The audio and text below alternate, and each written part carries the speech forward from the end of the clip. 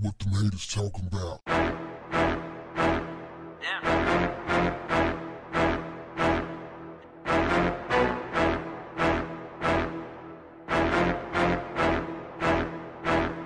What's up, family? If you needed more evidence and did not know, after his Clown Feud campaign event, Kanye West is officially cuckoo for Cocoa Puffs. Dude is officially gone. Now, here's the thing, fam. I see so many people, I hear so many people making excuses for him. Well, you know, he haven't been the same since mama died. Well, you know, he needs his meds. You know, people, we need to just talk to him. You know, he's our brother, you know, instead of bashing him, why don't we embrace him and, and, and, and show him love and da da da. Let me tell you something, fam. If I thought that Kanye West was a friend of the black community and he just made a mistake or he was just off a little bit because he is tripping on meds or whatever or something like that, I would say, okay, I would give him some latitude there. But this dude is an agent. Kanye West says whatever he has to say to get his way. He's an opportunist. And he learned from one of the best, Donald Trump, your president. The dude, if he was white, you got to ask yourself, would black people be so patient with him? I don't think so. Would black people make so many excuses for him if he was white and he said the things that he said about the black community, the disparaging things he said, talking about Harriet Tubman didn't free the slaves and slavery was a choice. And why is he always going back to slavery? He always got references to slavery. You know why? Because he knows there is a certain sector of people who want to hear that. Same thing happened when Steve Harvey was doing his show, Steve Harvey show. And this white woman said that, hey, Steve, you know, they had that section, the, uh, what, is, what do they call the, uh, not section, but a segment called Ask, Ask Steve. And the white woman asked Steve, hey, you know, Steve, when I go to these parties, when I go to social events, uh, you know, people start talking about things and, you know, and sometimes I don't know what they're talking about. I have no knowledge of it. I'm, of course, I'm paraphrasing.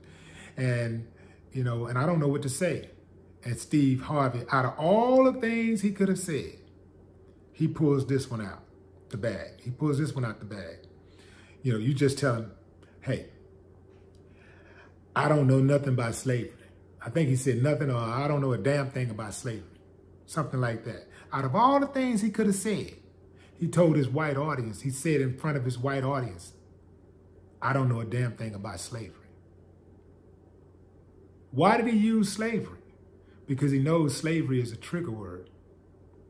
He knows that if he can make certain people feel comfortable by making a reference to slavery, something that has, you know, uh, something that was so detrimental to the black community, a source of constant pain, when you start taking, uh, considering the memories and even the remnants of it. If he can say something about slavery and make a joke out of it, then he makes that certain section or sector of people comfortable. That's why he said it. And this is why Kanye West often references slavery and he disparages black people while doing it. He knows what he's doing. But let me tell you something, fam. He's done it so much that it don't even matter anymore. We can't trust him. A black woman questioned him and he was dismissive of her. The white woman questioned him and he gave her a hug. He cried.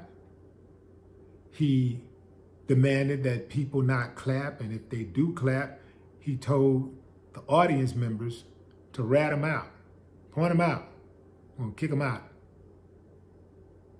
If Kanye West was a white man would all of these Negroes have so much patience for him? Would they continue to make excuses for him? I don't think so. And let's get off this mama dead thing. When my mama died, I did not start jumping through hoops, tap dancing, and samboing. It made me stronger, not weaker. Stop making excuses for grown ass men's bad behavior.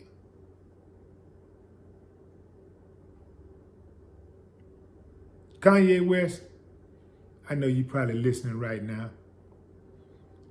Probably laying up in bed with a dude, eating crackers, crackers all in the bed, crumbs. I want you to know this, man. I feel nothing. You may fool some of the people most of the time, but you can't fool me none of the time. If indeed you are having your little meltdowns and stuff because your mama ain't here no more, suck it up, buttercup. No more talk. What the haters talking about?